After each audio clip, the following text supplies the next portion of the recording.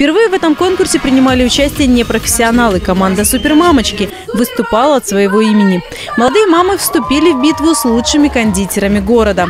Кстати, каждая команда работала по выбранной тематике. День защиты детей, сказка «Алиса в Зазеркалье», праздник осени. Дети – это все-таки цветы жизни. Дети мотивируют взрослых на какие-то подвиги, на какие-то шаги, поступки. Дети украшают праздник, дети его создают, поэтому дети сегодня самые главные участники этого кулинарного поединка. Рестораторы тщательно отбирали детей для участия в кулинарном поединке. Самые заядлые сладкоежки, любители булочек и пончиков – вот кто вошел в сборную.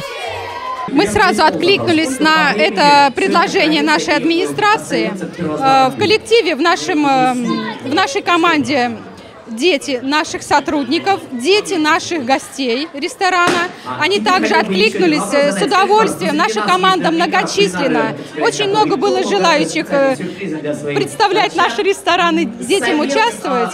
Э, мы подготовили пирожные. То, что мы готовим всегда, есть в нашей кулинарии в продаже, есть в ресторане. То, что наши гости всегда пробуют и им нравится. Из всего этого с помощью наших детей мы организовали организовали наш стол.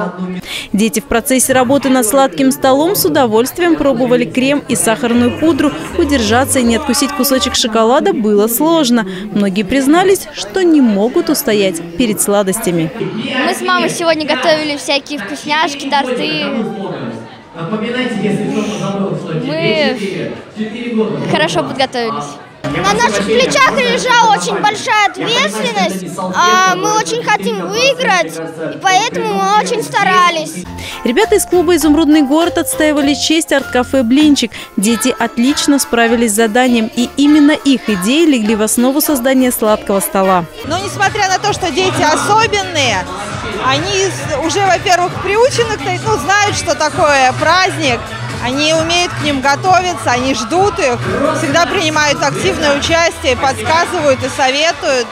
И порой э, ну, именно их идеи лежат в основе наших праздников. Поэтому все здорово, и они рады. И вот те навыки, которые дети получают в процессе, они помогают их, им затем в жизни.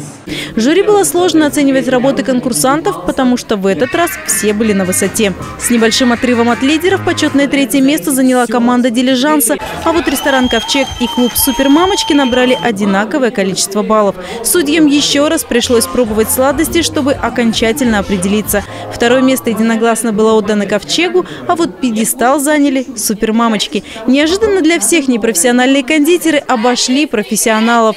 Фраза «нет ничего лучше домашней еды» в этот день полностью подтвердилась. Мария Шматкова, Леонид Бурдин, телекомпания «Одинцова».